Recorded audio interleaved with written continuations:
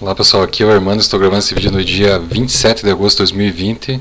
É, estamos trabalhando com a disciplina de Redes de Computadores 2, curso de Tecnologia em Sistemas para Internet, UTFPR, Campus Guarapava, Paraná. Bom, neste vídeo nós estamos com a continuação aqui de uma configuração de DNS reverso, em que a gente é, faz a distribuição desse DNS com duas, dois administradores de redes. O nosso desenho é esse aqui, nós temos dois administradores. O administrador 1 está configurando os servidores para é, com o endereço IP e com o domínio e também o, com o reverso né, desses, desses endereços IPs aqui para para o data center, digamos. E aqui o administrador 2, com autorização aqui do administrador 1, que repassa para ele um subdomínio, um bloco de endereço IP e um bloco de reverso também. Isso permite ao administrador 2 ali ter uma autonomia na rede dele e fazer configurações mais avançadas ali com a rede de acesso dele e os usuários da rede dele. Isso é um cenário bem comum em empresas de médio e grande porte, em que há vários administradores de redes a, trabalhando no mesmo ambiente, no mesmo ambiente virtual, né, no mesmo ambiente lógico. Aqui, esse é o desenho da nossa topologia, a camada 3 já está funcionando, aqui os servidores também já estão configurados aqui pelo administrador 1. Agora vamos Continuamos aqui com a configuração do administrador 2. Ele tem uma ele vai fazer a configuração da, desse, desse domínio junto a, a essa rede e prosseguiremos aqui com essa configuração. Bom, primeiro passo, nós vamos lá para o administrador 1 delegar, né? ele vai delegar aqui é, tanto o domínio, esse já não precisamos mais, ele vai delegar tanto um domínio como ele vai delegar o reverso. Então, para delegar um domínio, ele pode simplesmente criar um glue record no domínio da empresa.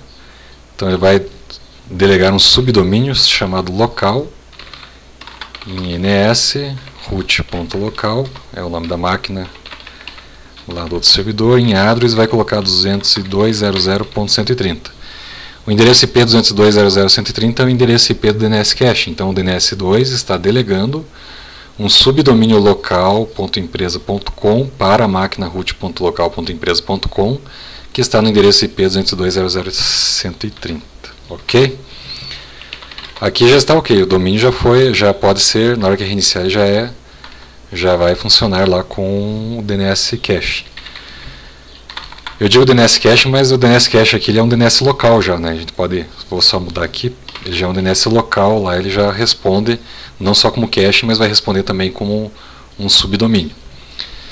Para delegar agora o, o reverso, eu coloco aqui o arquivo do 202.00/24. Metade do barra 24 já foi delegado aqui para a própria máquina. Agora vamos delegar a outra metade, metade que é generate de 128 até 255 em CNAME, cifrão 128, 255. Então, desse 128 até 255 em NS. É, aqui muda o nome da máquina, não é mais o root.empresa, senão seria a mesma máquina. Né? Aqui é o nome da outra máquina, é root.local.empresa.com. Esse root local.empresa.com. a gente acabou de fazer no arquivo anterior ali, que é o DNS local aqui da, da outra rede. Vamos salvar essa informação. Beleza.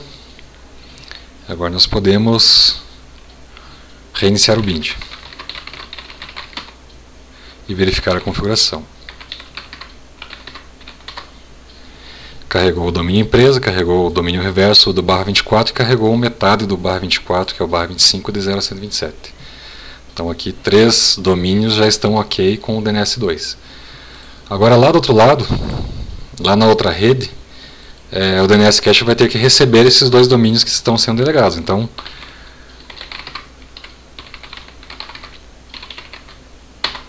edita o local e cria um arquivo de zona, zone, é, local.empresa.com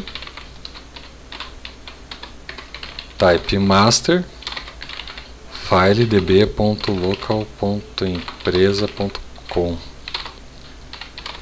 e também tem que fazer uma entrada para o reverso que é 128 a 255.0.0.1 202.inaddress inverse address arpa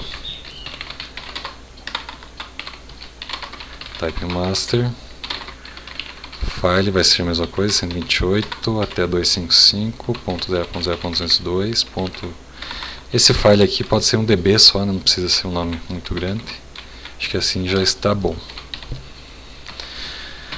agora basta eu criar esses dois arquivos aqui já para responder por aqueles dois domínios que já estão sendo direcionados ali pelo DNS2 do administrador 1 então vamos criar esse arquivo, var cache bind db.local.empresa.com Origem aqui para autocompletar vai ser local.empresa.com. TTL de 30 segundos aí para para receber. O Start of Authority coloca o root.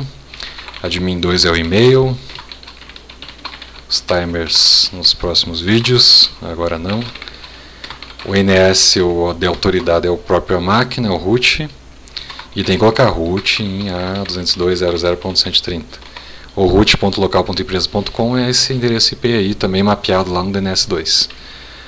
Agora eu posso dar um nome para cada endereço IP. Agora o administrador 2 aqui, veja que ele faz a configuração como ele bem entende. Né? Então pode colocar o router em A202.00.129, pode colocar o DNS local eu mudei o nome da máquina aqui para não dizer que ele é só cache.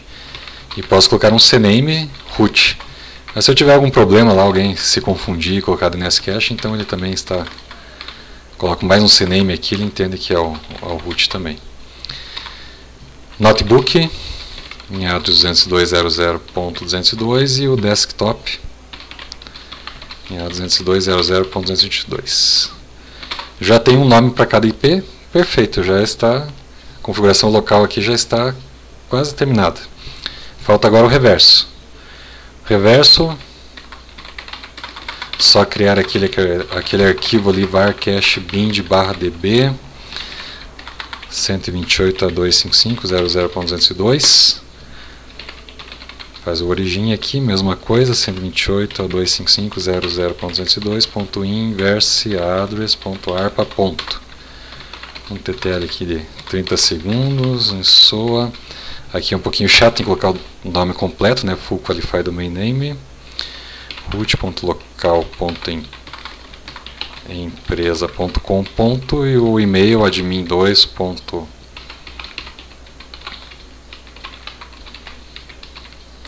Timers. Muito bem. Quem é o responsável por esse domínio? root.local.empresa.com. Agora eu posso fazer os pointers aqui que são que apontam para o reverso. O primeiro, IP endereço IP do roteador, em pointer router.local.empresa.com. Próximo é o DNS1, 101, não, perdão, o DNS1 é lá do outro, não é nada a ver. DNS local, que é o 130 em PTR, DNS local.local.empresa.com empresa.com. 202 em PTR, DNS notebook.local.empresa.com. E o 222 em PTR desktop local.empresa.com. Beleza, está tudo mapeado agora. Tenho tanto tanto um nome para cada IP como um reverso para cada, cada endereço IP também. Só restartar o bind. Verificar se eu não fiz alguma configuração errada. O domínio foi carregado e o reverso também foi carregado. Então, praticamente deve estar tudo ok. Vamos testar. Então eu tenho aqui host.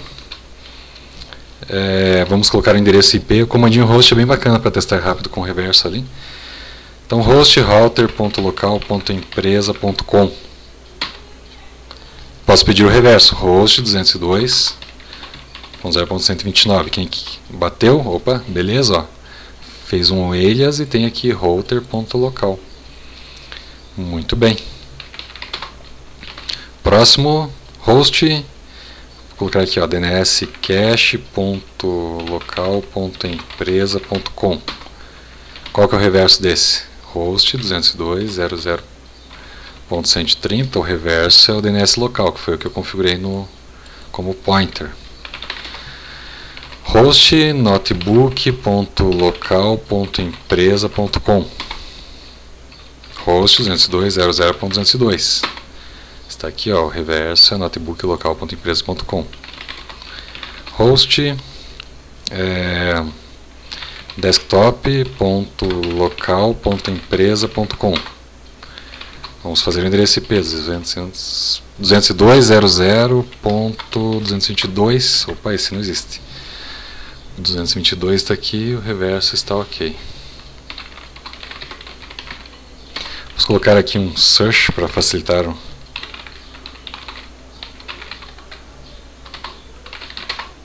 E se eu fizer aqui host notebook, ó, já vem endereço IP. Então, ali é só um search normal para a gente facilitar a nossa busca. Né? Notem que agora, se eu colocar host web 1, ele não existe, ó, porque o web 1 ele é diferente do web 1 que está no outro servidor. O web1.local.empresa.com não existe. Mas o host web1.empresa.com ele existe e está gerenciado lá pelo administrador 1 com o DNS 2. Se eu colocar 202.00.121, esse reverso não é nosso. Esse reverso aqui não é do administrador 2, é do administrador 1, que ele resolve para o reverso.